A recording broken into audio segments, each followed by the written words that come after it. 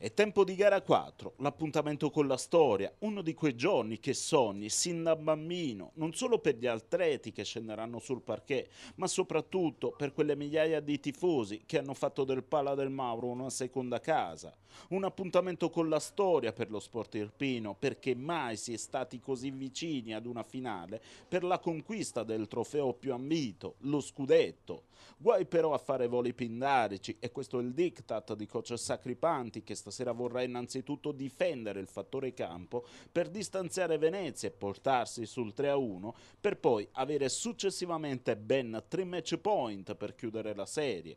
Entusiasmo alle stelle in Irpina con il Palasport sold out in ogni settore. Un Pala del Mauro bollente come già avvenuto in gara 3 per battere una Venezia forte tecnicamente ma in grado di sciogliersi al cospetto di una componente che questa scandone non ha mai fatto mancare, il grande cuore. E così stasera alle 20.45 oltre 5.000 cuori bianco-verdi sono pronti ad unirsi a quelli dei cinque lupi sul parquet per continuare a vivere un sogno. Forza Scandone, la finale tricolore è davvero vicina.